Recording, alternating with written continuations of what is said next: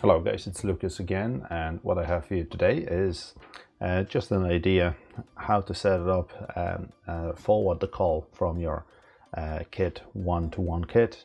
Uh, so for example, you could have an office and you'd just like to forward a call in a case if there's nobody to answer the main indoor station and just forward the call to maybe a reception or the warehouse or any other place in the building that you might have the second indoor station. So let me show you that on the actual uh, config tool first. So in the config tool, we see here, we have two indoor stations. My indoor station number one uh, has a room number one, one dash zero. that's the main indoor station. And my second indoor station, in my case here now, it's a standalone um, indoor station with room number number two um, and there's a 2 hash 0. Simple enough. So if you like to communicate with our door station and forward the calls between each other, uh, first of all I need to make sure that my second indoor station it's communicating with my uh, door station with my SIP server. So again, I need to enter the IP address of my SIP server and the um, password for that Server, 123456 in my case, login and username and password to that door station. Okay.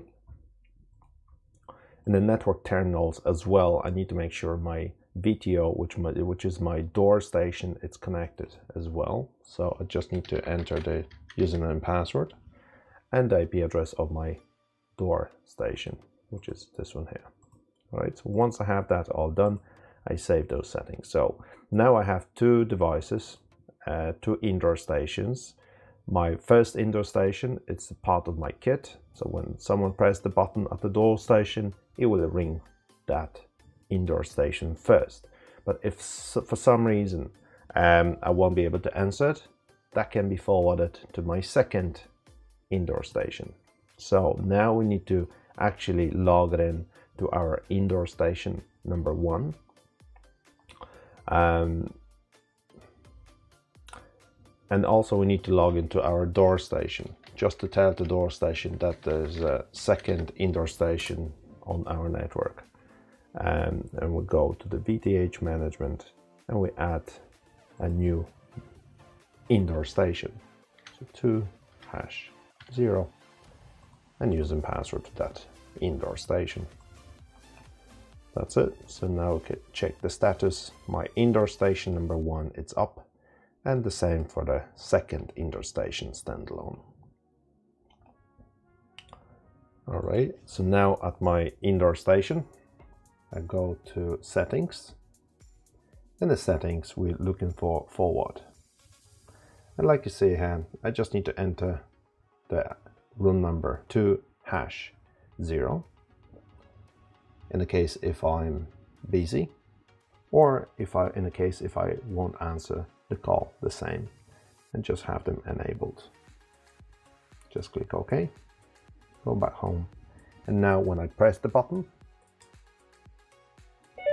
it will call my main indoor station. But for some reason if I won't be able to answer it so I can just hang up that will start calling my second indoor station, which it could be in the reception, in the warehouse or any other part of the building.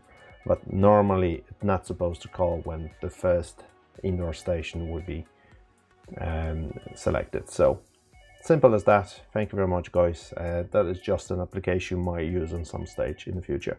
Take care. See you next time. Bye.